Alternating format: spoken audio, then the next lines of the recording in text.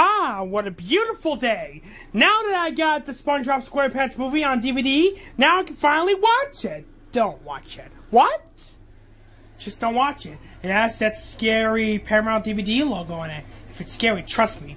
Oh my goodness! It's a ghost in a flashing class of 2024 necklace! And you're telling me there's a scary Paramount DVD logo? Just watch and see for yourself. Okay. Okay, I just gotta look at the back. I see the Paramount logo without the DVD one on it. I'll just look, it's fine. It's not there. It's on the boring gray disc. I don't think that logo's anywhere. You know what? Just put a disc in the button on DVD drive and just watch it! Fine. Seems like I have to do everything around here. Plus, I watched this show before. I've seen this logo before, and it's not even scary. I don't know why this disc is boring gray, but who cares?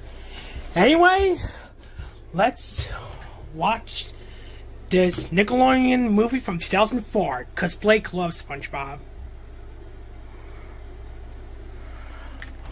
Okay. Alright.